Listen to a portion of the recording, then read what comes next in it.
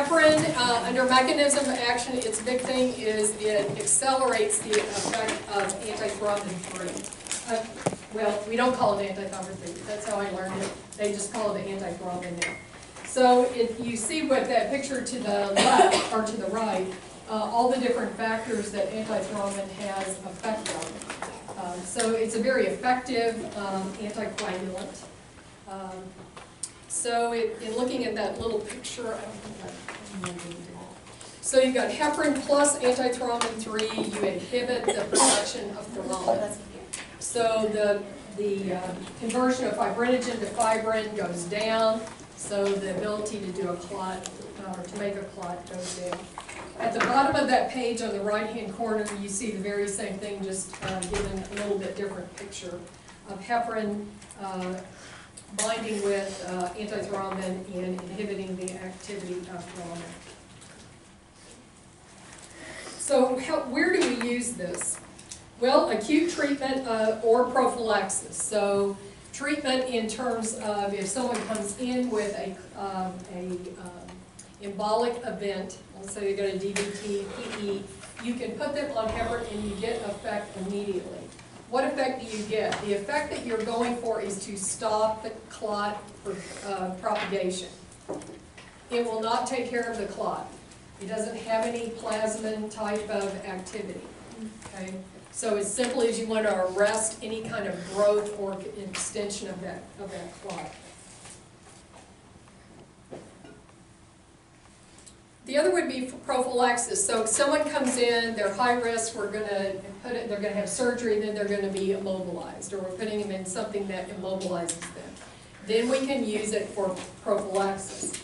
Most hospitals now will have protocols uh, in terms of patients that are admitted that are going to be at higher risk and, and starting uh, a heparin, whether it be an unfractionated or a low molecular weight. Uh, disseminated, disseminated intravascular coagulation is another indication for heparin. Uh, using it to flush um, catheter lines. So I don't, didn't know if you all were, knew what they were talking about with that. So when you, uh, when you put a, an IV line in or a port uh, of some kind that you're wanting to maintain the patency of it, then we can use heparin to flush it. So you see there's, this is uh, where it's entering the body, here is, uh, you've got a small amount of tubing, and then you have a port here through a Luer lock that you can unscrew things and screw it in and push medications through or hook up an IV tube. So uh, people sometimes draw blood through that, they deliver drugs through it, it can clot off. So most hospitals, again, will have a protocol, or the ones I've worked in, have protocols of how often you flushed the different lines, a PICC line or a, um, or a port or an IV line. So um, this is what a, an IV or a heparin flush looks like. It's about 100 units. So it's a very small amount of, of heparin that we would use to flush that line periodically um, in order to maintain patency. So that's what that's talking about in terms of venous catheter occlusion. Atrial fib, if someone comes in and you're wanting immediate anticoagulation, you can use a heparin. Uh, cardiac surgery, uh, it's used. Uh, also, we talked about acute coronary syndrome, right? One of the drugs you add right away with an antiplatelet um, and aspirin is uh, a heparin. Contraindication. If they're actively bleeding, you do not want to give them heparin. Yes, there would be a history of HIT, and we'll talk about HIT in just a minute, but it's a heparin-induced thrombocytopenia. Um, and it, it can be deadly, so you certainly would want to know. I think uh, patients will tell you if they've had one that would be significant enough that they would know. Okay, onset of action, it's immediate, so you can start getting effect right away. Now, time to get full therapeutic effect usually will take about 24 hours. And that will be through your looking at their, um, their uh, partial thromboplastin time and adjusting the dose um, based on that. In terms of offset of action, its half-life is only about 45 minutes. So if you had to take someone to surgery, if you had to, like when we talked about um, uh, putting in a stent or taking somebody for a coronary uh, revascularization. This drug can, you can turn it on and off pretty quickly. So that's one of its advantages. It's very pro, highly protein bound. It has lots of variations between patients. So it's not real predictable if I give Paul a dose versus um, Hannah a dose, it would be very different. Uh, the effects that you would get, the effects that you would get. So that's, that's one of the problems, is that it does take a lot of titration to get um, the effect you're wanting. Uh, it can be used in renal impairment. Now, this is a big advantage because low molecular weight heparin cannot be. Uh, some of the oral agents cannot be. Uh, so that's an advantage and one to, to keep in mind. In terms of monitoring for efficacy, we use the APTT. Um, it is measured in seconds. I brought you a, a um, this is an outpatient, but it kind of gives you an idea of what a, um, a result would look like. Now, in the, in the computer, it would look a whole lot different. So here's the name of the, of the test. Here gives you the results. Flagging would be if it's too high, too low, out of range, they'll flag it, they'll put some type of marker there. And then they're telling you the number of units, which is in seconds, and then a reference interval. So the institutions you work in will have different reference intervals, okay? Uh, they will be close, uh, but you should go by what they have done, because they calibrated their machines and they've measured it and um, they're following good practices, then they will, that will be a reliable uh, reference numbers for you. Here is an abnormal, uh, so here you've got someone whose results are outside the uh, reference, uh, and this would be compared to no, somebody who's not on anticoagulant. So there they flag it as high.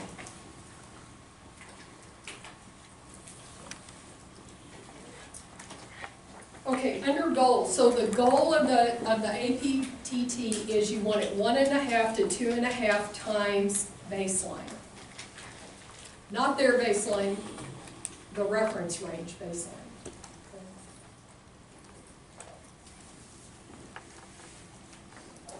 Usually, we, we will draw this about every six hours while the person's on it until they, till they stabilize. If you look at the next page, there is a, uh, an example of a heparin titration protocol there. It's not meant for you to memorize, it is meant to show you how it's done, how we do this. So at baseline, it's a weight-based. So we're, first of all, we're gonna give them a bolus so that we get a big effect first.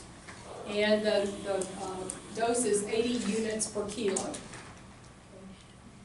Then we're gonna start them on an infusion. So we're gonna have an IV bag with heparin in it, they've got an IV line established, we're going to hook them up, and we're gonna run it through a pump at this rate. In six hours, we're going to draw lab and see where they are. Then we're gonna make adjustments. So this shows you what, uh, what uh, the recommendations for this protocol is. So if they're still near normal, then we're going to give them another bolus and we're going to increase the infusion rate.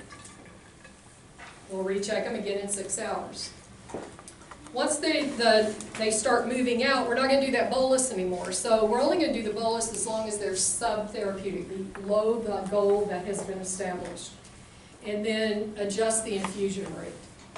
And once we get them to stay in that range of 1.5 to 2.5 baseline, then we'll leave them alone for as long as we are going to have them on the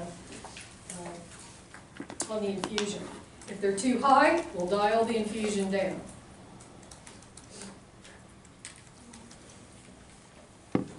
I'll go back up to monitoring toxicity in just a minute. So we can't, so that's IV. We can use this subcutaneously. It's slower onset.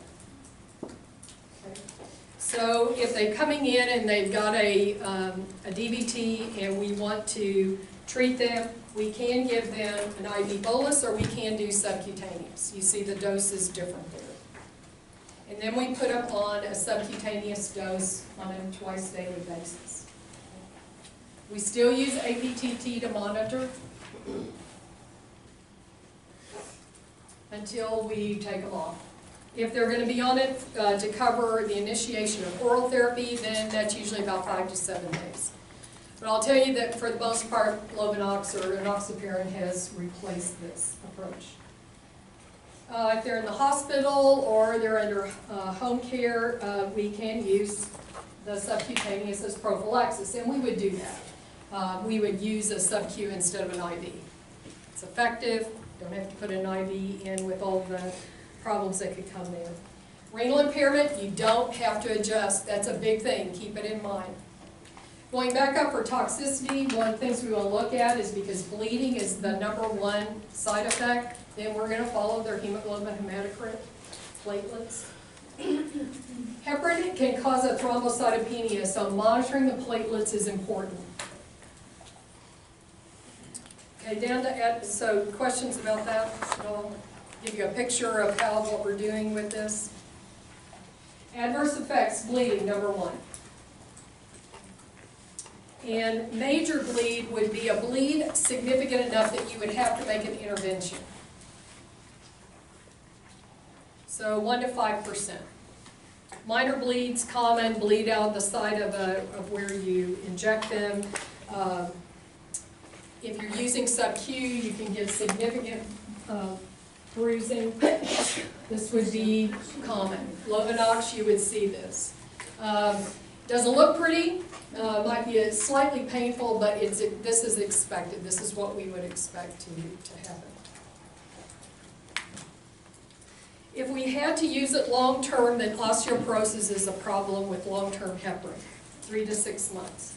So we can use heparin in pregnancy. We can't use the oral agents, so if we use heparin, um, that might be an indication where you would use it for that length of time.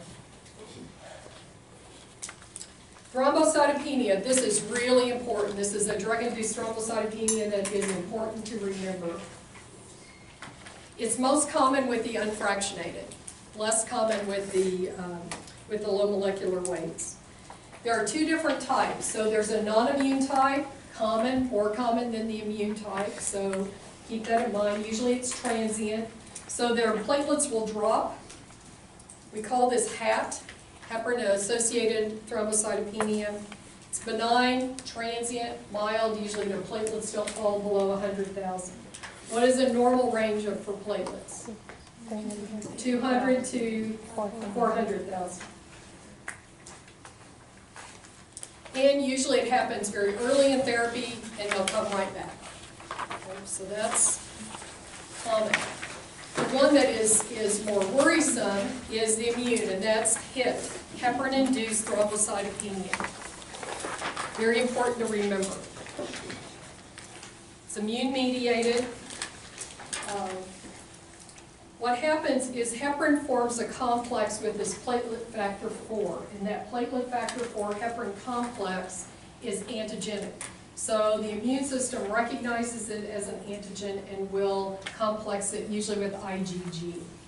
This is a type 2 hypersensitivity reaction. So one thing I would say is write yourself a note and say, go back and look at, at the, the lecture I gave you in module one. Because here's a good example, it's, it's not uncommon, and it will drive home that type of reaction, because they're not that common, but they often result in a cell line deficit like uh, platelets, thrombocytopenia. So what happens is because you've got that um, complex, um, and it often attaches to the platelets, is the body will clear it more quickly. Uh, So you get a drop in platelet numbers. It can happen on the arterial side or the venous side. The odd thing about it is that it's, bleeding is not the problem, it's thrombosis. They form clots. So remember platelets have the ability to produce procoagulants. And it's thought that that's what happens, is that you get a lot, you get a dump of these uh, procoagulants, and so they get more clotting. So you would think that if you don't have platelets, you would bleed, but it, that is not the case. It is clots, so it's thrombosis, not bleeding. Incidence is about two to three percent. So the problem is, is that people can die from it, so it is a lethal complication. Or if it causes an arterial thrombus, then they could, it could lead to limb ischemia, they could have um, amputation. If it occurs in the heart, it can lead to an MI or a stroke in the brain. If it occurs in the venous side, then um, PEs are common complications, and death is a common complication of So it can also uh, cause heparin-induced skin lesions. Um, Those toes are purple and red mottled. Um, Sorry, I didn't, I didn't put it in the slide. So diagnosis is an absolute thrombocytopenia, so platelets less than uh, 150, 150,000, or more, greater than a 50% decrease from baseline. Usually occurs days after they've started, so five to 10 days. However, if they have had uh, heparin before, that would be a heparin naive. If they've had heparin be- before, it can occur within 12 hours.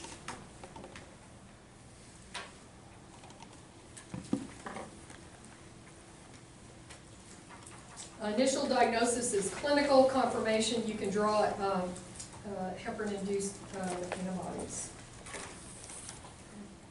Questions about those? Really important complication or side effect. Treatment, uh, you stop the heparin, you can treat them with an alternative, you could use bi- uh, bivalirudin, uh, fondaparinux, uh, so one of the other non-heparin uh, agents. Often we will overlap when we, if we're going to use warfarin for a DVT tr- uh, treatment, we will usually start heparin and warfarin at the same time because that gives us uh, the five to seven days we need for warfarin to be effective. In this case, you would stop the warfarin and wait until the thrombocytopenia resolves. We don't give platelet transfusions, it just makes the situation worse. So it's support in, uh, until the patient can uh, recover. Questions about that? Yes? It's a little bit of a longer term question, so, kind of like a real scenario. This would mostly be likely set in a hospital, Yes. correct? Yes. So you would be running like a CBC on them to monitor for the first couple of days? or- Yes, yes, yes. There is a reversal agent, and that's protamine sulfate. That's an important one to remember. So let's say they, um, they're, had an exaggerated response, their PTT went out a lot further than you'd expected, and they start having some bleeding, you can use protamine to, uh, reverse the effects of the heparin. Uh, Going back up to drug interactions, there aren't that many uh, with heparin. The, the major would be more what we would call pharmacodynamic. Uh, Drugs that do the same thing. So drugs that also interfere with the uh, coagulation cascade or plate, uh, platelets, so nonsteroidals, aspirin. Uh, There, it's not that you can't use them together, but you have to be aware, increased risk of bleeding. So because they both share common um, effects, then their risk of side effects goes up. Real-world application, so quick onset, quick offset. That's something to remember with heparin. You can get tight control very quickly with this drug.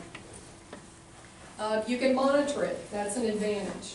Um, It's not, it's less expensive than all the alternatives, except for warfarin. Um, Not limited in renal failure, big advantage over the other agents. Questions? Okay, low molecular weight heparin. So we use this one a lot on an outpatient basis, so if you're not in a hospital, you were likely to see the low molecular weight heparins. Uh, Their action, they interact with antithrombin, um, just like heparin does, uh, but they are more specific for factor 10A instead of thrombin. That's the predominant difference between low molecular weight and um, unfractionated. So how do we use them? Well, acute treatment, we can treat a DVT, comes in through the emergency room, you can start them on this, also an oral agent and send them out the door. You can use them for prophylaxis. Um, as I said, the oncologists tend to like this over oral agents or heparin, so you can use them uh, in pregnancy, you can use them for uh, patients who have cancers uh, as well. Uh, This one doesn't cross the placenta, so you don't anticoagulate the the fetus. So it's, heparin's the same way. Uh, History of HIT, uh, so you do not see HIT to the same extent with low molecular weight you do with the infraction, but it's still a possibility. Active bleeding would be a problem. Spinal punctures. This is a black box warning, but it's not an absolute contraindication. So the risk of bleed, I didn't put it, uh, always important when you're, uh, got somebody on anticoagulant and you're having to do a spinal puncture is the risk of bleeding.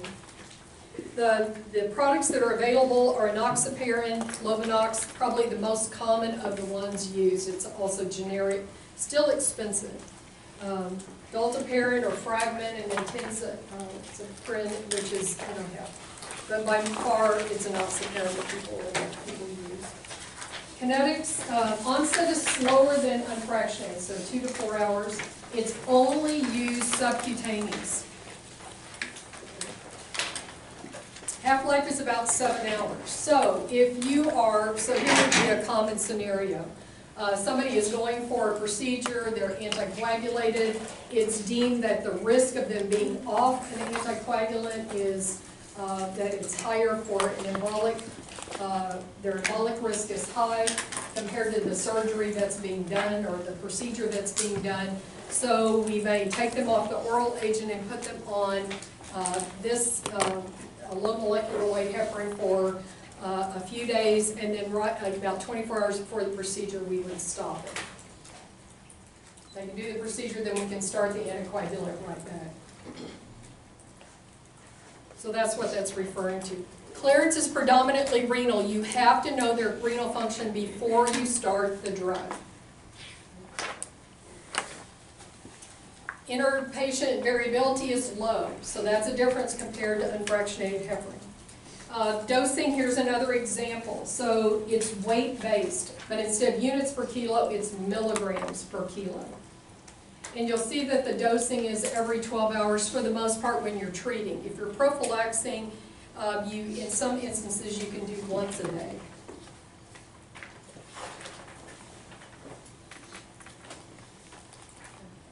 Um, Adverse effects, bleeding similar to the unfractionated epidural hematomas around spinal procedures uh, is a uh, risk, HIT less common than the unfractionated. Drug interactions, again, are more pharmacodynamic. Now, we haven't talked about that as much. When we talk about them, we usually are talking about kinetic interactions, pharmacokinetic. You're interfering with the clearance, the metabolism, the elimination of drugs. Pharmacodynamic in- uh, drug interactions are when the drug that you're using with it is going to do the same thing. So you can get exaggerated pharmacologic effect and exaggerated adverse effects.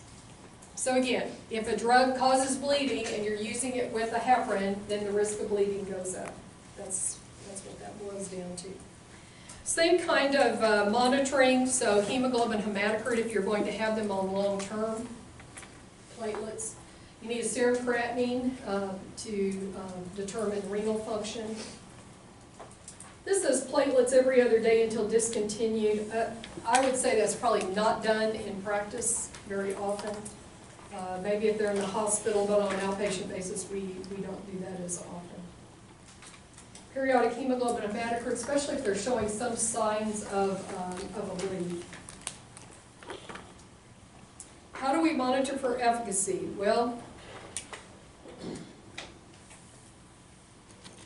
so a couple of things. Renal insufficiency, we don't want to use it. Pregnancy can be used. Weight. Weight will affect this drug. So the very skinny and the very obese probably have, um, uh, the obese, the worry is less than optimal anticoagulation. It's always an issue about how do we dose morbidly obese folks?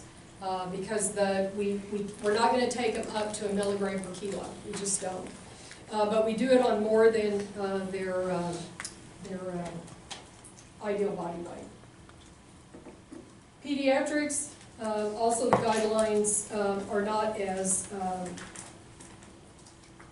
well fleshed out as you see with adults, so monitoring may be appropriate there. So here we don't use, an activated partial thromboplastin time. The, if you have to use some type of monitoring, then you would use this anti-factor ten A. You can order it, it's not very common, uh, monitoring, but in these situations where you've got very obese people, pregnant woman, or a kid, then you may want to, uh, use that monitoring. It does have a reversal agent, so it does have protamine. The last on the top of page seventeen is a comparison between the unfractionated and low molecular weight.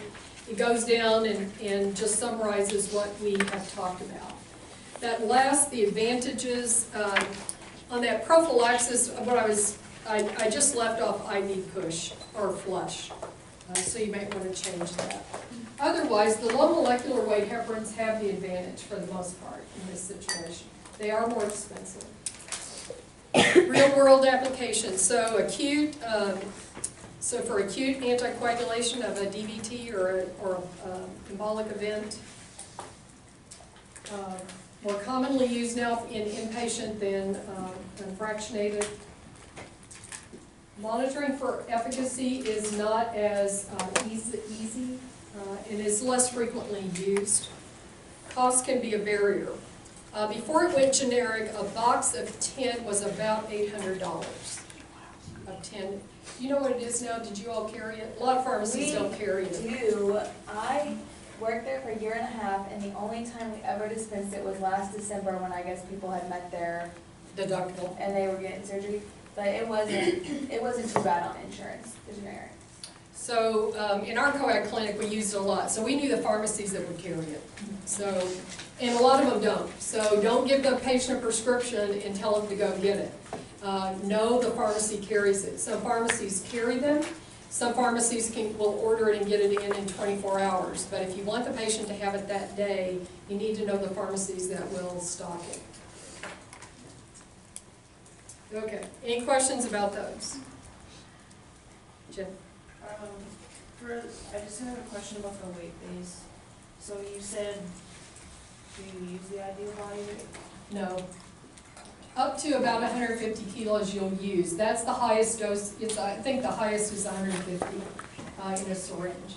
And usually like, you know, when you, you're inpatient, you have all the charts and everything, it's pretty much automatic calculations, right? How much you're supposed to give somebody. Your, your hospital may have a protocol that you would go by, especially for the, um, unfractionated heparin. For the, uh, for the low molecular weight, it's a milligram per kilo usually. And then what, depends on if you're gonna use it once a day or twice a day. Okay, the last one in this group is, uh, Arixtra. It's a ten A inhibitor only. It is really a second line. If you don't, can't use the other drugs, you would use this one. Um,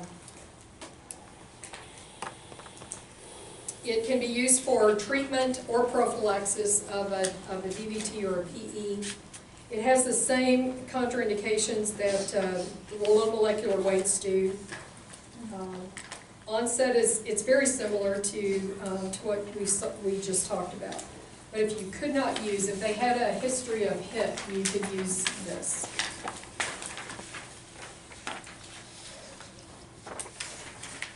So their mechanism action, real world, um, if you look on the next page.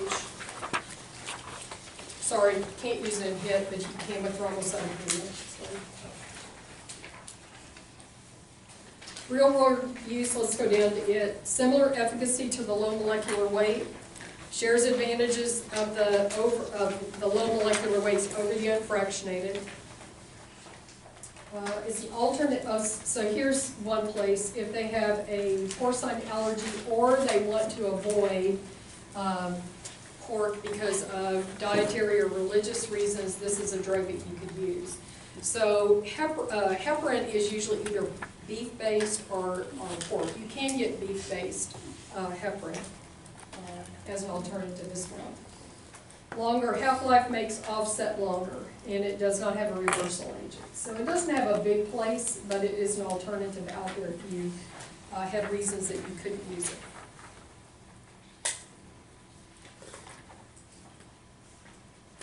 Okay, let's go on to warfarin. So a drug that's been around a long time, since the 1950s, uh, been used for all manner of uh, embolic events. Um, Most people know it's the, it's similar to the ingredient in rat poison. It's how you kill the rat, they, they bleed to death as they eat it. Um, You can see there, it was approved in 1954, and the next oral anticoagulant was not approved till 2010. So um, lots of, of um, experience with, with this drug. Uh, It is frequently used in the treatment of uh, DVTs, PEs, um, heart valve patients, uh, stroke prevention and AFib, all of those, um, it is, it works well. It's a vitamin K antagonist, so it hits those vitamin K dependent uh, clotting factors. And it's gonna hit the, the, the new ones, um, or the, sorry, it won't hit the circulating, it hits the production of new ones. One of the bad things it does is it also decreases protein C and protein S production. So that's not so much a problem for us in the long run, but in the short term, protein C has a very short half-life. So when you start warfarin, you knock it out pretty quickly. So, and you also knock out uh, factor seven. Remember I told you factor two has a very long half-life. So if you, in the initial treatment with warfarin in that first week, you can actually see an increase in clot. That's why we always cover it with a heparin when we're starting. And we usually keep the heparin five to seven days until the warfarin takes effect and their INR has reached at least a level of two. I've written that down later in the, uh, in the handout. Okay, indications. So I've, I've talked about that as cardio, cardio uh, embolic strokes, uh, prevention and treatment of, uh, uh, DVTs or PEs. It is, and this is an important one, it is the only oral anticoagulant that is approved for heart valves. Never, never, unless there's new information that comes out, but I think that that is, is put to rest. You never use the newer agents for heart valve patients, it's always warfarin. They didn't bear out in, uh, in, in trials. So there's no off-label use for those in, in heart valves. Prevention of secondary stroke, prevention of recurrent MIs also is another place that it's being used. We don't use it in pregnancy because it is, it has, it's uh, le- level X or category X, the old category. Uh, Fetal warfarin syndrome, this takes place in the first um, trimester. Um, And you can see the, the different problems uh, with limbs, the CNS, the eyes, the facial features, so cannot be used in pregnancy, very teratogenic. So in women that are on warfarin that are in childbearing years, we strongly, strongly are pushing adequate birth control. They cannot use estrogen products because it increases clotting factors. So we're usually looking at like the pla- implantable progestin, long-acting progestins. Uh, Contraindications, um, someone who's a high risk for a major bleed, history of a warfarin-induced skin necrosis or purple toe syndrome. Not very common, but uh, it does happen. They form these little microclots in the little blood vessels, and uh, it often shows up in the toes. Uh, They'll know if they've had purple toe syndrome, it- it's striking. Uh, Quinidine is another one that can do that as well. Um, okay, so, uh, onset, so we talked about warfarin takes days to, um, onset, about fi- uh, five to seven, based on clotting factor half-life is the reason. Offset is slow. Uh, so if somebody is on warfarin and they're going to go and have a surgery, Usually, the person who's, who is uh, instructing them will tell them, I want you off, I want you to stop the warfarin five days before. Unless you are, if you ever tell a patient that with warfarin, you should always refer them back to who is responsible for that warfarin. Uh, Because you're not, if you're doing some procedure, the GI folks are, are the, uh, very common. They're gonna come in and do a uh, colonoscopy, they tell them stop it for five days before. No assessment of risk, no assessment of what their likelihood of throwing a clot is, none. So it really needs to go back to the people who are monitoring it, and then a decision can be made as to risk and whether or not to cover them during that time that they're off with something like Lovenox. So that's, that's the reason why that it's typical that patients are told to stop it five days before a procedure. Warfarin has a very narrow therapeutic index. What does that mean? Toxicity and therapeutic effect overlap or very close together. So this is a continuum. What we're doing is that we are just extending the length of time it takes for blood to clot. We're on a continuum. Uh, So at some point, it gets to be too much, and the person can then uh, have major bleeds and, uh, and suffer due to that. So regular monitoring is pivotal. There are guidelines that come out for the use of uh, anticoagulants in chest regularly, on a regular basis. And chest, last chest guidelines came out and said people on warfarin should be monitored every four weeks at the, at the maximum, okay? So we may see people every one to two weeks, but four weeks is what is recommended that they're, go no longer than that. Unless they're extremely stable and they could go out twelve weeks. I'll tell you that's very rare. Uh, most people will benefit from every, it, uh, no, no, going no longer than four weeks in between, uh, INR checks. It's metabolized extensively. Two C nine is one of the major, uh, we don't talk about that one as much, but it's the major pathway. But you'll see it's, it's, um, it is metabolized by multiple pathways. So, it's a red flag warning. Warfarin interacts with everything, everything affects warfarin. Uh, so it's really important if you're dealing with a person on warfarin and you're going to add something, is that you know what it's going to do. The other thing you should always tell them is if they're being monitored by a group, um, a specialized group, tell them, you need to call in and tell them. We always told our patients, anybody adds a drug to you, call them, call us, we'll tell you whether it needs uh, extra monitoring or a change in your dose, very, very important. The way it is monitored is an INR. Have you talked about INRs? Yes. Okay, good. So what do you know about them? They're part of a TINR test.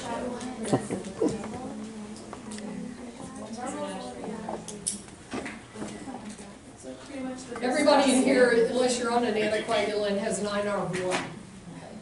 So it is a, it's a referenced um, lab uh, that compares the bleeding time of somebody on that drug to someone who is not on that drug.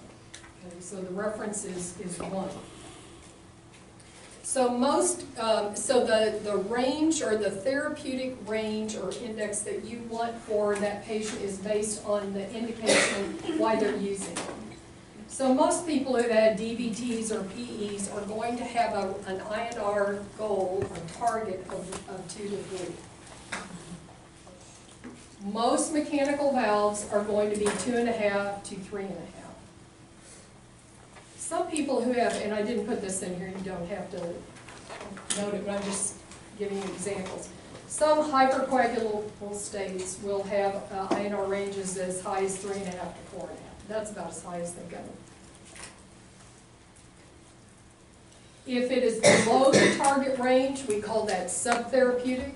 If it is above the target range, we call it super, super therapeutic. That will differ based on the range that is the target for them.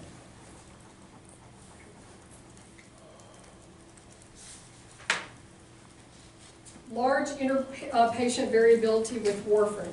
Uh, Usually when we start, we will, if we're starting a naive patient, we'll start with five to ten milligrams Uh, and we'll do that for one to three days, and we'll check an INR.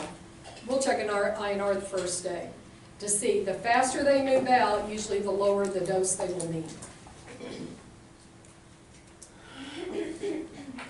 Um, When we would see somebody new on warfarin, we might uh, check an INR every two or three days until we start to see it stabilizing.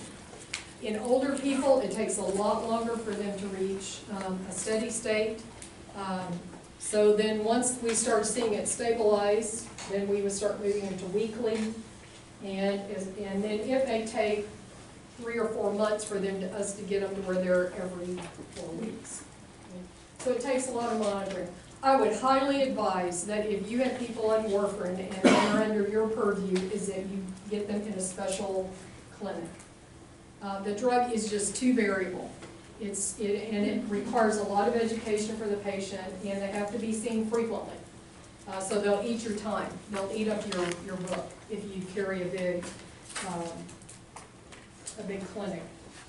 In this city, there are three of them. Uh, Baptist, Integris has one, Southwest uh, Baptist has one, and OU, uh, in the Family Medicine Center has one. That's pretty much for warfarin. The other uh, newer uh, anticoagulants don't have anything to monitor. There's nothing you can check. Uh, So they, they usually aren't in a specialized clinic. For people who live out in um, the very rural areas, there are, um, sometimes you can get special uh, permission to uh, get them a meter, and they can check their INR at home and call in results.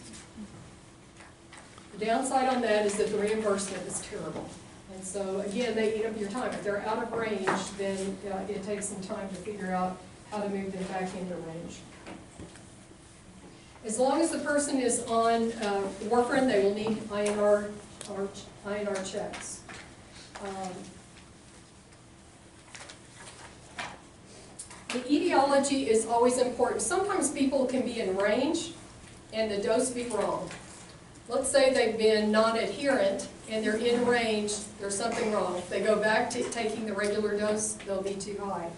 Uh, So there's lots of reasons, uh, or lots of things that influence that INR, and so it needs to be interpreted by folks who are um, well-trained in, in that area.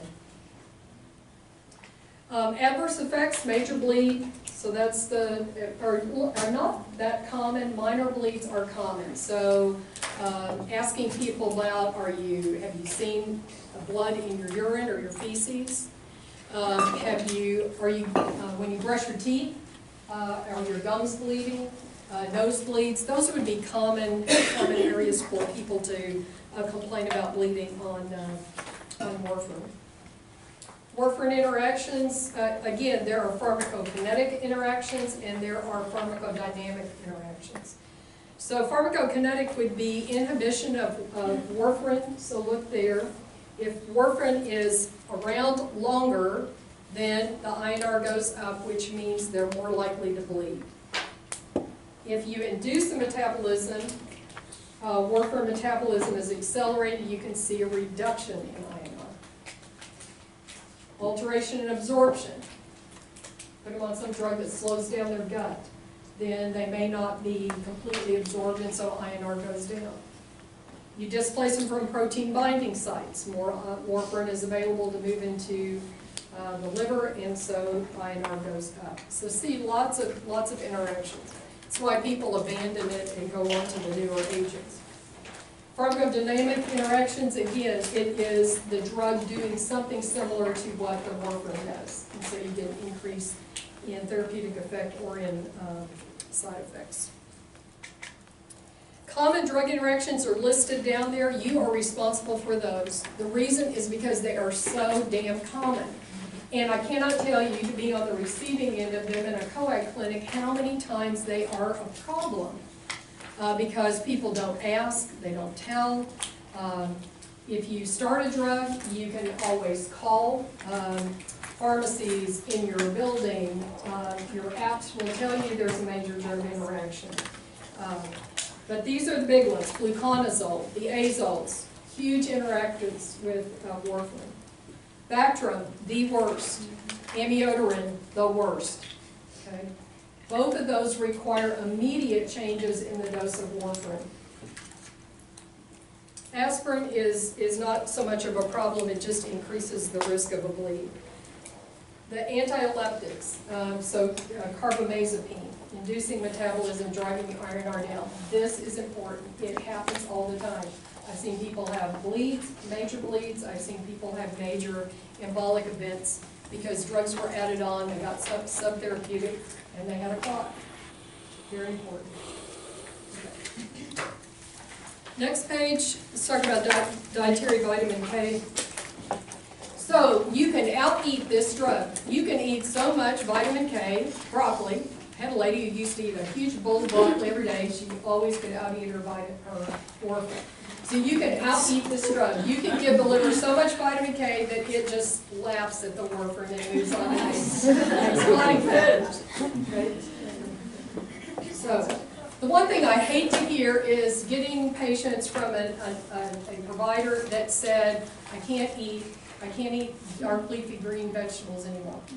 Uh, and I know why they do it. I know that the provider just does not want to mess with the dietary impact on warfarin. I get it.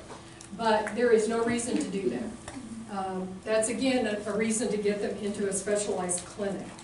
Uh, inconsistent amounts of vitamin K just cause that INR to go up and down, up and down, up and down. And so it gets very hard to interpret what is, uh, what dose is really needed. So consistent vitamin K intake is what you're going for. So we don't want people to abandon good, healthy eating. We want them to know how to choose it and how many servings a week they can do. We always ask people, what do you want to eat? And then we titrated the- the- them against that. But the thing for them is it had to be consistent. And that's where the, the difficulty sometimes comes in. Foods with high vitamin K intake usually are the dark leafy greens. So broccoli, Brussels sprouts, kale, spinach are high. Cabbage, even though it's not dark green, it's very high in vitamin K. Some um, over-the-counter diet supplements like Ensure, uh, the liquids, also tend to be high in vitamin K. They use a lot of that for meal replacements. It can also cause a problem. Romaine lettuce, very high. Liver, very high. So we teach patients how to, how to um, interchange those and how to be consistent in their servings. That's, that's the goal. Other food effects, cranberry, hated when Thanksgiving came around because when people eat lots of uh, cranberries, juice in particular, but also the, uh, the berries, it inhibits warfarin metabolism and their INRs go up. Grapefruit products, I- I- you know, more modest, I just tell them avoid it. I'll also tell them to avoid the uh, cranberry juice. Alcohol, alcohol is wicked because it does multiple things. Acutely, it will cause the liver, um, it will uh, inhibit warfarin metabolism and their INR will spike. So people who binge the night before they came in to get an INR check, they're always high. Um, So binging or acute alcohol intake will, um, will affect uh, warfarin metabolism. Chronic induces the enzymes, and so all you have to do is titrate against it, if you're willing to, if that's, if they're gonna chronically drink alcohol and you can't get them to change. So al- alcohol has different versus acute versus chronic. A lot of diseases affect warfarin. See, from a pharmacist standpoint, we love all this stuff, but I think y'all are sitting there going, there's no way in hell I'll ever use that drug. Okay, fever increases metabolism, diarrhea, they don't absorb it. Acute illnesses affect food intake. I can always tell when we move from summer to winter, because people eat more fat, they absorb more vitamin K in the winter. And so we had to change the dose during the winter time. Heart failure exacerbations will increase the INR because of the congestion in the liver. Hepatic disease. Most people with hepatic disease are not on warfarin because they don't make that much clotting factor, and that goes down. So that's usually not so much of a problem. Changes in thyroid status will change clotting factor metabolism. So if they're hyperthyroid, uh, or you go up on their thyroid, uh, then their, their INR will um, go up and down with hypothyroidism. The key would be is if you're changing somebody's thyroid and you know they're on warfarin, tell them to call the provider who's managing their warfarin. Adherence makes a difference. One missed dose can have a major effect on uh, warfarin or on the INR. So you're responsible for what is in that chart. Changes in dietary vitamin K, what's the INR likely to be? Diarrhea, what's likely Bactrim? Chronic Bactrim, we're not so concerned about, and non-steroidals. Now, a lot of drugs, if people have to be on them chronically, like amiodarone, we just titrate the warfarin to a different dose, and they can uh, tolerate it. It does have a reversal agent, that's good news, vitamin K. So we can give people vitamin K. The only thing is it makes them resistant. Uh, so then for several days, they, they are not covered because they, um, their liver can make as many clotting factors as it wants. All right, questions about warfarin? So you won't see it as often, but your heart valve patients will have it. Um, And it's cheap. You can get a month's worth at, at Walmart for four dollars. So it is, it, it's less expensive. The monitoring is some, but it, the monitoring is not that high. Um, So it's a less expensive, but a lot more, um, a lot more factors. Okay, so let's look at the, the newer agents then. So we have direct thrombin inhibitors, like dabigatran. And since we're short on time, let me go to, on page twenty-four, we have the uh, factor ten A. So um, has fallen somewhat out of favor because of some of the post-marketing. So let's look over at the um, factor ten on page twenty-four. There's three of them. There's Xarelto, Eliquis, and Savaysa. You see them on TV all the time. So these are factor ten inhibitors. They selectively block the active site for factor uh, ten. Their mechanism is independent of antithrombin. Indication, you'll see them a lot for AFib, non-valvular AFib. These cannot be used in mechanical heart valves. They can be used to treat DVTs, PEs, prevention. They can't be used in renal insufficiency, so that is one of the problems. Um, The one I want you to uh, focus on is apixaban or Eliquis, because edoxaban has some weird stuff. If the renal function is too high, the- it's, it's less effective. It's a, it's one of the strange ones. Um, So let's, let's just for this, look at um, apixaban. If you look on page twenty-five, in terms of lab monitoring, um, it doesn't, it doesn't, there's nothing to monitor. There's no, uh, nothing that will tell us what type of activity it's having against uh, ten A.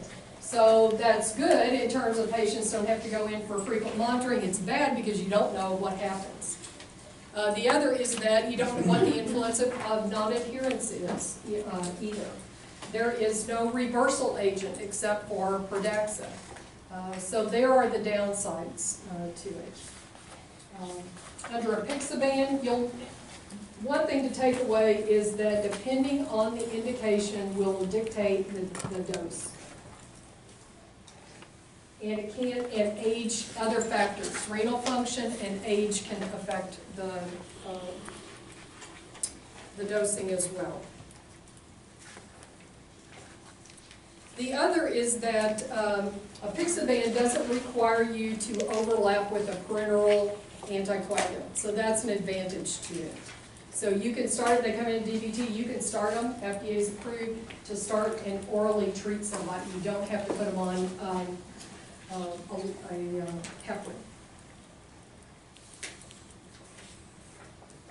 Look on page twenty-six. So they also have fewer drug interactions. However, the longer they've been used, some, there have been some interactions that have come up. I would still say you need to look, but they are not anywhere near uh, the problem that you see with warfarin. The azoles can be a problem. Um, That's about it. Uh, Look under real world, world use, advantages over warfarin. Uh, No monitoring, um, less side of, usually less bleeding and less uh, drug interactions. Disadvantages are um, no reversal agent. The other advantage is no uh, parenteral anticoagulation. Renal function is still a problem. Can't use it for heart valves. Questions about those? Okay. Treatment concepts, I would read through there. What I did is I took each of the big concepts and, and broke it down in terms of how, it- what the approach to treatment is. Uh, So treatment for acute, uh, either DVT or an arterial uh, thrombus. The different modalities, non-pharmacologic effects or uh, interventions. Um, So the next two pages are summaries of what I have said, but it puts it more under the disease itself or the condition uh, itself. On the very last page,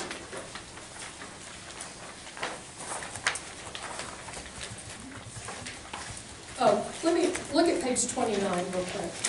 I put a, a chart in that shows you uh, duration of treatment. So what I want you to take away from this is that at the top, if you've got first provoked or unprovoked, the duration is usually short, kind of shows you, I'm not gonna ask you INR uh, target ranges. Um, At the bottom, it's, it shows you more the recurrent, or the, or the types of VTEs that are gonna require chronic, that means lifelong. So it's either you're on it for a short period of time, or you're taking it forever. And you see also that the INR uh, ranges change. And your heart valves are gonna have your longs. On the very last page, y'all talk about HAS-BLED. So HAS-BLED, so we use the CHADS VAS to determine embolic risk. HAS-BLED tra- uh, does uh, estimates bleeding risk. So what I want you to know is what each of those stand for. So H is hypertension, A is abnormal renal function, S is stroke history, B is bleeding history, L is labile, E is elderly, over sixty-five, drugs that increase bleeding risk. So you can see under the HAS-BLED score, the higher that dose is, or, sorry, higher the score is, the higher the risk of having a bleed. So in a clinic that is managing these folks, they're gonna do both. They're gonna look at CHADS VASC and they're gonna look at HAS-BLED. And they're gonna look at what is a person's risk for a bleed, what's a risk for uh, an embolic event. Again, where it comes into play is, what if they're coming in subtherapeutic? If their risk for a stroke or is lower than their risk for a bleed, then you may not do anything about it. You might give them a boost of a drug and then bring them back shortly if you're, if you've got a monitoring parameter and, and monitor them. That's the problem with the newer agents is you don't have that. If they're sub, is super, uh, supratherapeutic, then what's their bleed risk to their clot risk? Should the dose be adjusted down? Should they be given a reversal agent? That's where these things become important. So they're tools to use, and I've got data behind them. Questions? A lot of stuff. You're so good. So, I'm sorry we rushed through the newer agents, they're fairly straightforward, just look at, look at what I, I have given you in the handout, All is the same format. Okay, I probably will write, stick with the big concepts, every handout I gave you is big. If it, the very first part over the, um, uh, the background, the physiology, pathophysiology, I am not gonna ask you about that. I gave it to you as, a- as, um, context, okay? So my focus is on the drug part. So look at the major concepts. Don't miss those. If you miss the more minor things, that are more complex, I'm like, okay, but when you mix, mix, miss the big stuff, that's what concerns me. Will any of the information over dabigatran be on the test? Yes. Okay. Even Yeah, that section is gonna be on it. Okay. That's the production. You ought to, you ought to have some idea of that, and we'll use, uh, Pixaban, I'll send that out as a, a notes for you to use. All right, good luck. Bring it back.